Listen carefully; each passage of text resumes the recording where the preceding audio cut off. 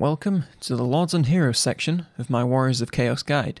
In this section, I'll be going over every single one of the Chaos Lords and Heroes and cover their uses in campaign and battle, as well as abilities and unique effects.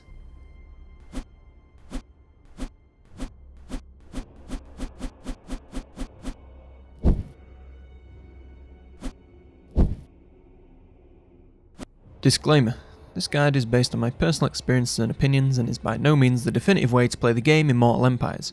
If you have a different strategy or want to add something to mine, please leave a comment down below. Now that's out of the way, let's get into the video. But first, I'm here to tell you about the sponsor of today's video, Audible. Now if you've been living under a rock you may be wondering what is Audible, and I'll tell you. Audible is basically a service for people that like books but don't really have the time to read, so instead they get other people to read them and then they listen. And I know you may be wondering, well what kind of books they do, and the truth is, pretty much every single book ever that you could ever think of. They have the largest selection of audio books, audio shows, and audio dramas in the entire world. So even if you're a very picky person, there is bound to be something you can enjoy in the entire library. These books are also read by some of the most fantastic voices on earth. Voices like my personal favourite Stephen Fry, voices like Morgan Freeman, voices like Jeremy Irons. These are some classic dudes. They are great. Now before I get too excited, I'm just going to let you know how Audible actually works. There's a subscription service and each month you get one credit which equates to one book per month. You buy that book, you listen to it, it's fantastic. But it's not just that. When you have a subscription, you also gain access to the massive library of audio shows and audio dramas, completely free of charge. You don't need to buy another credit to unlock them. They're just all there as soon as your membership starts, which is pretty fantastic. You may be wondering, well, I don't have a very good internet connection where I work, and I don't want to use all my data reading books. Audible has you covered. There's a handle app for your phone, you just download the books, listen to them offline, literally anywhere you want. That app even comes with its own driving mode, so it's easy to control when you're on the move. Now you may be wondering, well, what if I get a book and I don't really like it? Audible has you covered yet again. Members get to return their books in exchange for a credit, no questions asked. Even if you've read the entire book and can decide, you know, that wasn't really for me, you just give them the book back, they give you your credit back, and you can spend it on any other book in the entire library. No limitations, they really care about their members. Nothing you may be wondering is, well, I just want to try out a book and I don't really want to commit to the entire program. What will happen if I don't listen to it before the end of the month? You get to keep these books forever, even if you cancel your membership. So you could start a membership, get a book, cancel it, and listen to that book over and over again until the end of time and the world collapses, and you will still have access to that book.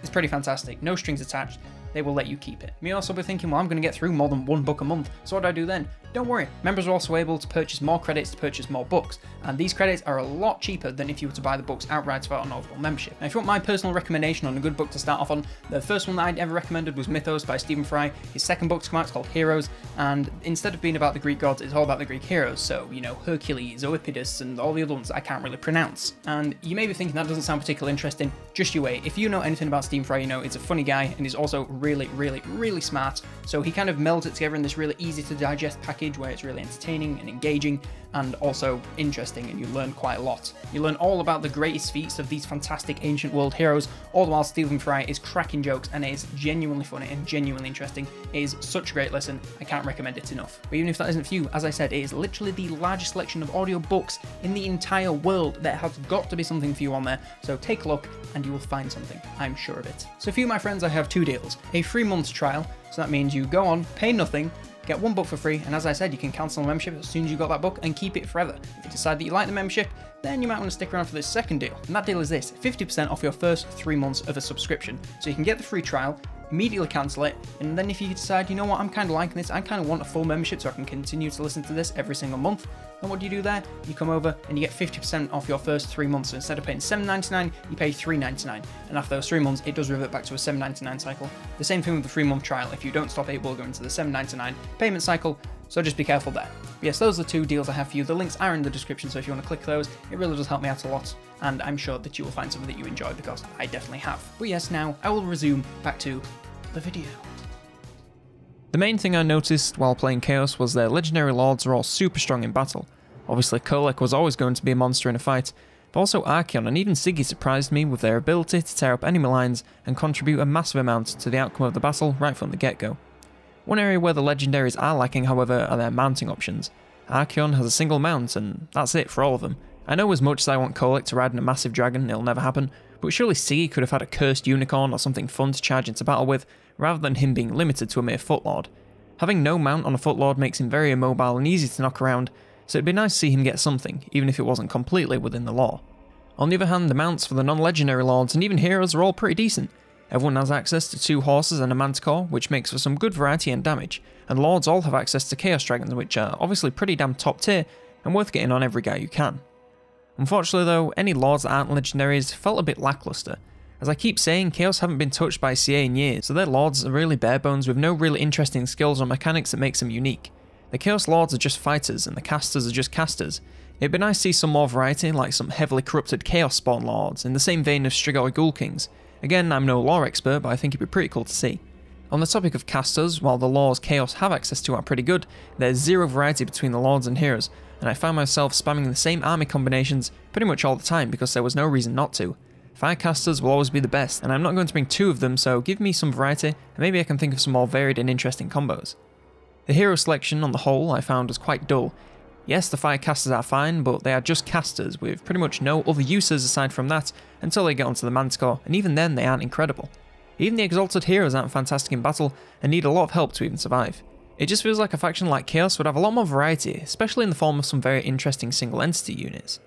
The Exalted Heroes do get a mild pass however due to their multi-class role as campaign assassins and battle brawlers. Depending on how you build them, you can end up with two of the same heroes being used completely differently.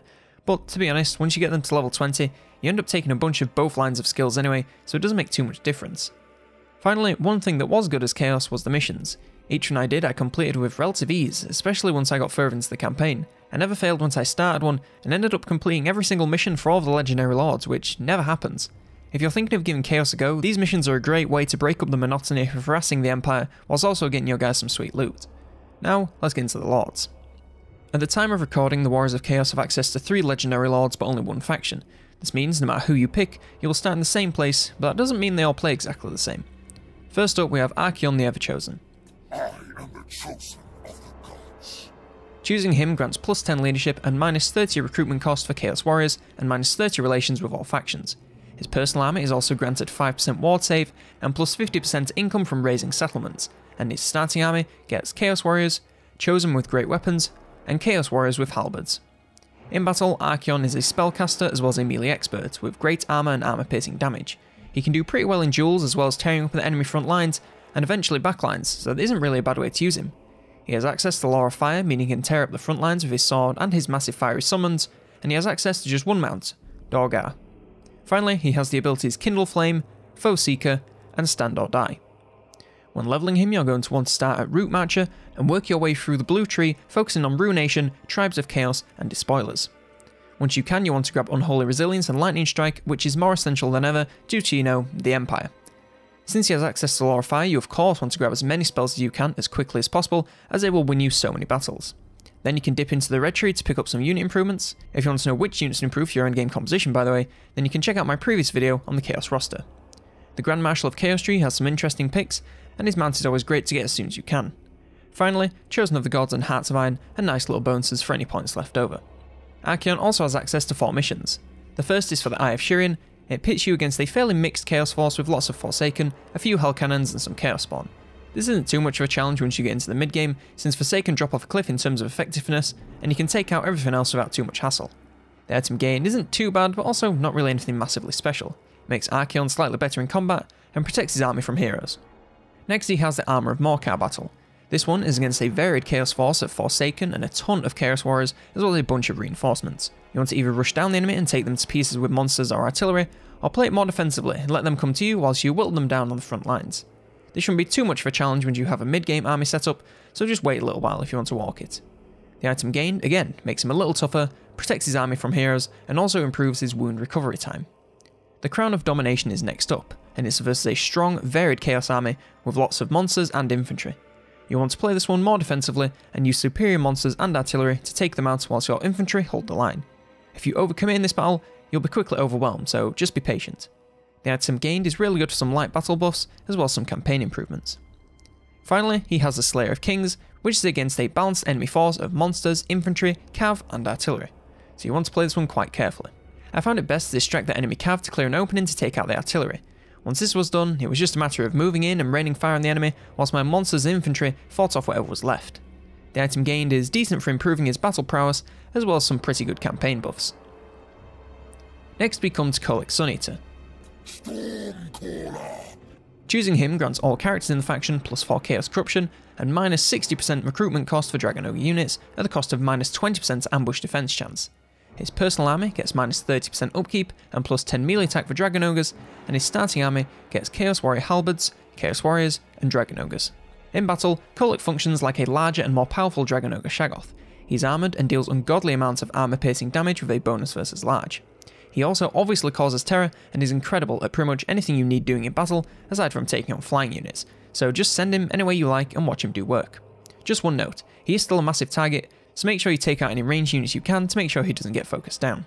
He has no spells or mounts, but does have the abilities Foe Seeker, Lord of the Storm, and Stand or Die. When leveling him, you want to follow the same blue tree start as Archaon, then go into the red tree for any unit improvements. The moving mountain line is great and unique to him, so be sure to grab that as soon as you can, and Lord of the Storm ability is always a good time. Hearts of Iron, Storm Rage, and Aura of Chaos are also great for some final general improvements. Kholek also has access to just one mission, Star Crusher.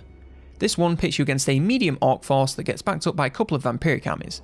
Don't make the same mistake as me, and be sure to keep your army consolidated and together to avoid them getting swarmed and taken down. If you do that, then you should have a much easier time, especially if you have a Firecaster by the time you get into this battle.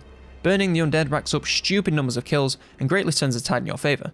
Other than that, just be sure to use Kholek to focus the enemy lords, and you should do just fine. The weapon gained is great for battle improvements, as well as a decent increase to casualty replenishment rate. Our final legendary lord is Sigvald the Magnificent, or Siggy as his friends call him. Bring ruin.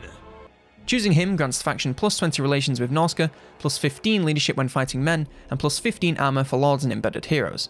His army gains plus 3 recruit rank and minus 60% upkeep for marauder units and plus 3 horde growth.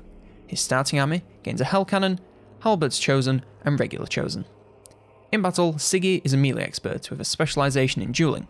He has pretty great armour and decent damage that allows him to win most one-on-one battles as long as he isn't going against someone that has a mount. This made him into a great little assassin that I could send after enemy footlords and heroes and not really have to worry about him too much. He has no spells or mounts, but does have the abilities Foe Seeker, Deadly Onslaught, and Stand or Die. When leveling him, you want to follow the usual blue tree start, then go into the red tree for unit improvements. His egomaniacal tree is pretty great, and Favoured Son is always a good pick. Finally, Hearts of Iron and Aura of Chaos bring some nice final bonuses to him and the army. He also has access to two missions. First we have Sliverslash, and before I tell you about it, you have to witness the speech that Siggy gives before the battle, as it is the most firebeat to ever come out of the Chaos Wastes. Sickly, sinful spectacles stand, shuffle, shamble, and saunter shamelessly in my scandalized sight. I suggest a solution. Such sedition should sour and succumb to Sigvald, the salacious, scandalous, and sensational servant of Slaanesh, son of Succubi, scion of sordid acts and slayer of squalid serfs. See how I stroll, stride, swagger, and swirl, spin, slash, and stab at stupid, senseless scum. Soon they shall swoon, shall seek solace and death from sundry torments, wrought on them by my strategic, severing, scintillating shower of shivering strikes! Okay, so the battle itself is against a shedload of Forsaken units, along with a couple of chariots and artillery. Again, we want to distract the chariots and take out the artillery, and then you pretty much have nothing to worry about seeing as Forsaken are ass once you leave the early game. Taking a mid-game army will make this into a walk, so don't be shy to go in early if you want more of a challenge. The item gained is a strong weapon with great battle buffs and a decent campaign improvement. His other mission is for the Auric Armor. Not really much to say here since it's a fairly straightforward battle versus a reasonable Chaos force with some minor reinforcements. Just attack and move your units up steadily to meet the oncoming reinforcements, and as long as you don't let them group up or overwhelm you, it should go just fine. The item gain makes him much tougher, as well as granting him regeneration and granting the army hero action resistance. Now we have another lord who I suppose you could consider legendary, but he has some caveats. Sarthorael the Everwatcher is a Chaos Lord who was forgotten in the mists of time, since he used to be only unlockable by winning a Chaos campaign, but now he's just available from the get-go. He is only usable in custom or multiplayer battles as far as I know, but I figured I may as well go over him anyway since he is pretty cool. He's a spellcast lord, and while it isn't listed as a specialty, he isn't too awful in combat, mostly due to his large size. He obviously causes terror and is unbreakable, so will stick around until the end and cause a bunch of trouble to all units near him. He has access to Lore of Metal and has no mounts, but does have the abilities Metal Shifting, Arcane Conduit, and Stand or Die. Now we come to the non-legendary lords, starting with the humble Chaos Lord. They're armoured and shielded and are melee experts, so belong in the front lines supporting their troops in a very lead from the front mentality. These guys are pretty basic, so just throw them onto the front lines and try to avoid anything that can focus them down, and they should do just fine. They have no spells, but do have access to four mounts. The Chaos Steed, the Barded Chaos Steed, the Manticore, and the Chaos Dragon. Obviously, the Dragon is my favourite, but any of them can do their specific jobs well enough. They also have the abilities Foe Seeker, Deadly Onslaught, and Stand or Die. When leveling them, you want to follow the usual blue tree start and follow that with some red tree. You want to grab the mount of your choice as soon as you can, and the usual Hearts of Iron and Aura of Chaos are always good. Of course, Immortality is as essential as ever, and the yellow tree can be used to make them even better in combat. Our other Chaos Lords are the Chaos Sorcerer Lords, and they're all the same aside from one ability and the spells they can cast, so I'll list them as one. They're all armoured spellcasters, but don't confuse their toughness with fighting ability, since Caster Lords will die very quickly if you send them against anything even remotely tough. Instead, you want to keep them behind the front lines to support your units with as many spells as you can cast. All the sorcerers have access to the same four mounts as the Chaos Lords, the Chaos Steed, the Barded Chaos Steed, the Manticore, and the Chaos Dragon. And of course, the Dragon continues to be my favourite. They all also have access to Evasion and Arcane Conduit. The Shadows Caster has access to the Lore of Shadows and Smoke and Mirrors. The Metal Caster has access to the Lore of Metal and Metal Shifting. The Death Caster has access to Lore of Death and Life Leeching, and finally, the Firecaster has access to the Lore of Fire and Kindle Flame. They all also pretty much level the same. They start with the usual blue tree going into red, you want to grab all the spells you want to use, and this varies between the lores, but you really have to make the choice for yourself as to which ones you need. Of course, you want to grab a mount of your choice once you can, and Hearts of Iron and Aura of Chaos are as useful as always.